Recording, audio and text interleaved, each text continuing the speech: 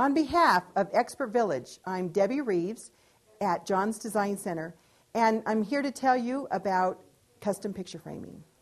Now, what we want to do is attach the green to the mat. So we turn it upside down, and we get our double stick tape. It comes in the kit, and we just have to put just a little bit of tape here and a little bit of tape there.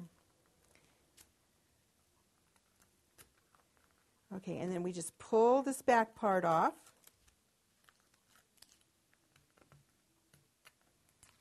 Okay, and again, we want to make sure that your table that you're working on is clear and clean and doesn't have any debris around it. It's very important. So I take my green and I just put it upside down. Use my fingers, and now it's completely attached to my mat. So now I want to attach my picture. Again, you want to just hinge it. You do not want you do not want to tape all the way around. You just want to do two little hinges. Put on the back, and this happens to be a calendar.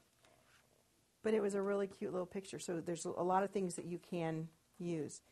So I put it right here. I put my mat right where I want it to be. Okay, and now it's just hinged. And now my picture can grow and shrink inside and it'll stay nice and flat. And if you look on this picture, there's a lot of other designs that you could use. So, we have other designs like the hat that the, the man's wearing or the um, wagon wheel. So there's all kinds of other pictures. You could have put a little snake down here.